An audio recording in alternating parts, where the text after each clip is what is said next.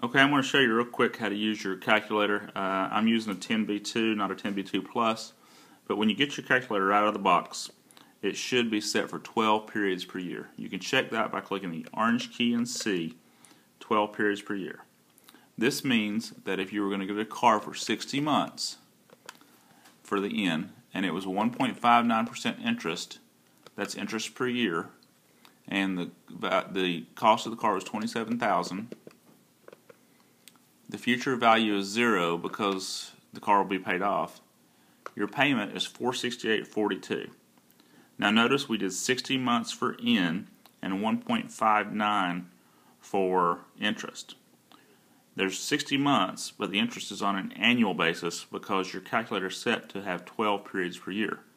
We want to change that because some of the problems we do are more complicated, and we want to have one period per year, which is actually matching your N to your interest rate.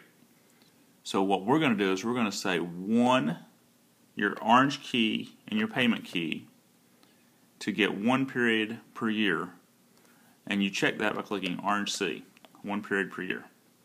Now we do the same calculation, 60 months, except now we're going to use the interest as a monthly total, 1.59 divided by 12, which is equal to 1. 0.1325, uh, 1.13 on your display. That's your interest.